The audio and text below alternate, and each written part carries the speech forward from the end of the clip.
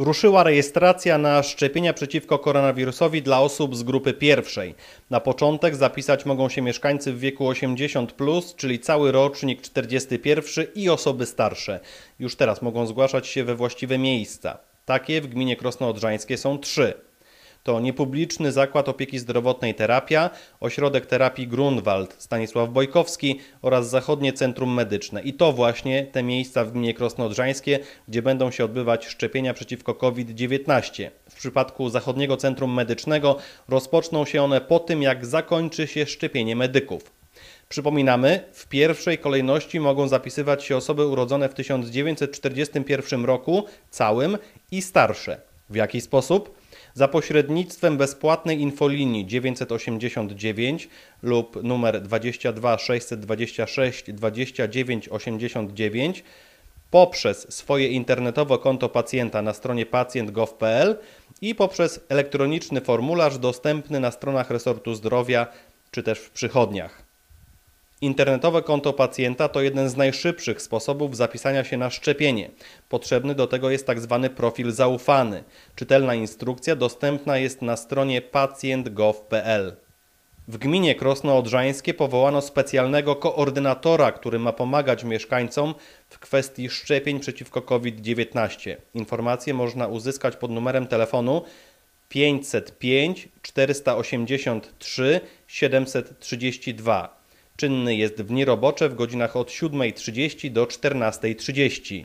Władze gminy podkreślają, że będą pomagać mieszkańcom w kwestii szczepień. Ważną kwestią w tym temacie jest także współpraca między jednostkami rządowymi, czyli m.in. Lubuskim Urzędem Wojewódzkim, a samorządem. Gmina Krosno-Odrzańskie jako jeden z samorządów gminnych, około 2,5 tysiąca ich mamy w Polsce, włącza się w działania pełną parą.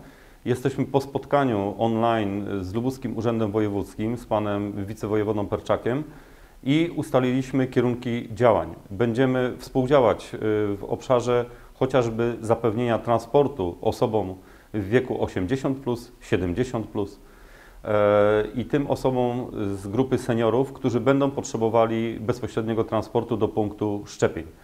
Aktualne informacje o Narodowym Programie Szczepień są i będą dostępne w wielu miejscach. Wiemy, że odbywa się już powoli rejestracja tych osób, które mogą być zaszczepione. Co tydzień będą kolejne grupy. Te informacje wszystkie będziemy Państwu na bieżąco podawać. One są dostępne też na naszej stronie internetowej www.krosnoodrzańskie.pl. E, można także na stronach NFZ-u dowiedzieć się, jak będzie przebiegała akcja szczepień, ale będziemy chcieli Państwu jak najwięcej tych informacji przekazywać przez nasze media lokalne. Gmina Krosno Odrzańskie deklaruje pełną współpracę w zakresie e, no, propagowania akcji szczepień nie tylko dla naszych seniorów, ale także dla naszych mieszkańców. Oczywiście to będą kolejne grupy, które zgodnie z Narodowym Programem Szczepień będą podlegały całej akcji szczepienia przeciwko COVID-19 w Polsce.